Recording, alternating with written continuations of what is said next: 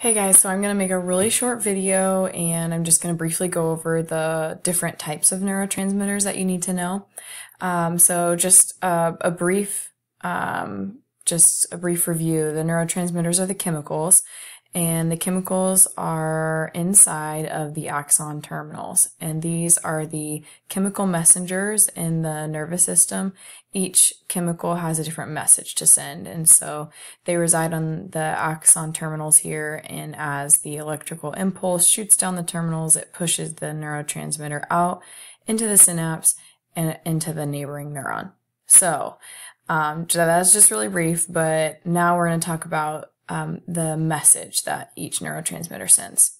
So we're just going to start with acetylcholine and um, just a tip to remember this if it sounds like um, take a seat or uh, lean.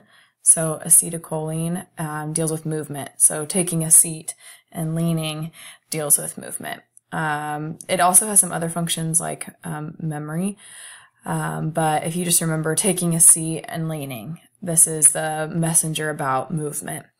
Um, you will be asked some things like um, what happens if there's not enough acetylcholine messengers or what if there's too much.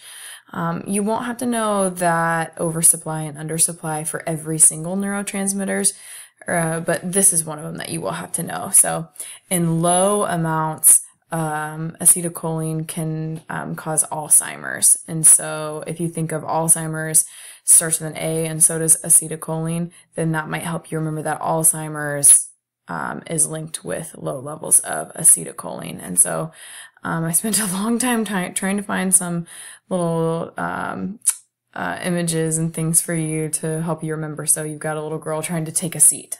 So acetylcholine is what helps you um, send messages about movement, um, also memory. That's where the Alzheimer's comes in. Okay. Next is dopamine, and dopamine is the neurotransmitter that um, communicates messages about pleasure. So this is um, your like reward when you're motivated to do like rewarding behaviors. Dopamine, that's the message that's being sent. So if you just think of um, it's like your pleasure um, neurotransmitter. I think this one's really easy to remember because um, I when people say that's dope, they're meaning like, oh, that's so awesome, right? And so I think that's an easy one to remember. Um, your pleasure sending neurotransmitter.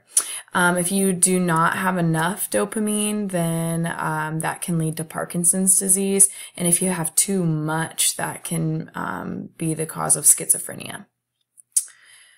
Okay, next we've got serotonin, and if I think serotonin makes me think of um, uh, Sarah, and you think of like sad Sarah, then sad Sarah um, may be having trouble with her mood. So if you just remember sad Sarah, the alliteration sad Sarah, then that might help you think serotonin is mood. And so um, I've got a little mood swing for you. Serotonin is your mood stabilizer, is what keeps your mood stable. And so um, in low levels of serotonin, people can suffer from depression. So if you think sad Sarah, that's your mood. Serotonin is what helps you stabilize your mood. Okay, so then we've got epinephrine and norepinephrine. Um, I remember these because I it, I know that EpiPens are named EpiPen because of this epinephrine. It's um, a stimulant. So whenever someone's getting an, ep- an EpiPen, they're giving themselves a stimulant. So if you don't know that and that's hard for you to remember, then um, um, if you can, like maybe if you think, I don't know, if you can uh, link something with pine and I don't know, the smell of pine trees makes you really excited for winter. Um, I don't know. So, but it's your body stimulant. So, um, if you think of anything that can amp you up, it's your epinephrine. This is the neurotransmitter form of adrenaline. So, in your nervous system, if your nervous system is speeding your body up, it's using epinephrine or norepinephrine. And then in low levels, this could cause depression. Um, GABA is uh, the neurotransmitter that is your body's natural like relaxer. Um, and so um, I don't have a great mnemonic for this, but I just think of like if some when someone's starting to like fall asleep and they're getting really relaxed, they might start to like slur their words, and it might sound like GABA, GABA, right? So GABA is like a relaxer, um, not necessarily like sleep, but it's a calming, um, muscular body relaxer. It brings your body down. Um, the next one is glutamate, and glutamate is your um, message sender about learning and memory.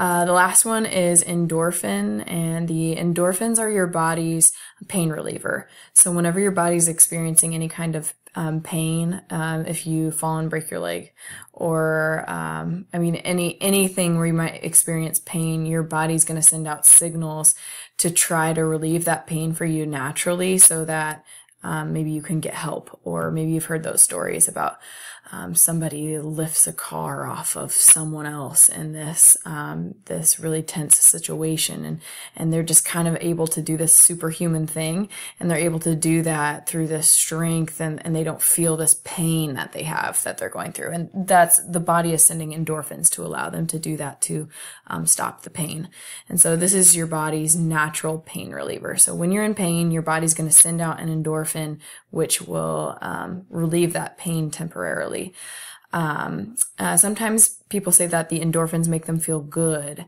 Um, I don't want that to get confused with dopamine. It, it isn't necessarily meant to make you feel good. It's meant to relieve the pain. And because the pain is being relieved, people feel good, but it is a pain reliever. Okay. And the last thing that you need to know is the difference between agonists and antagonists. Agonists and antagonists are substances that act like neurotransmitters. They aren't neurotransmitters, but they act like them. And so it's something that you take in your body and it will get into your nervous system and be like a neurotransmitter or stop the neurotransmitters. So the agonists, I think um, of the word go in agonist, it makes your message go. The agonists are substances that chemically um, they look like and they fit into the receptor sites like a neurotransmitter would and it would make the message go. So maybe if you're um, lacking something um, in your neurotransmitters you can take a substance a psychoactive substance that would act like that substance that you're lacking and it would go in and send that message for you. Or an antagonist. Um, I think this is easier to remember because an antagonist in a story is like the bad character. Um, and so the antagonist is going to go in and block the message. Um, for whatever reason, maybe you want the message not to be sent. Maybe you're getting too much of that message. Um, or sometimes, um, substances, um, illegal substances might go in there and stop a message that should be um, being sent, but will not be sent because the agonist goes in and blocks the um, neurotransmitters at the receptor sites. Okay, I hope that was helpful. Um, let me know if you have any questions about this. Okay, thanks.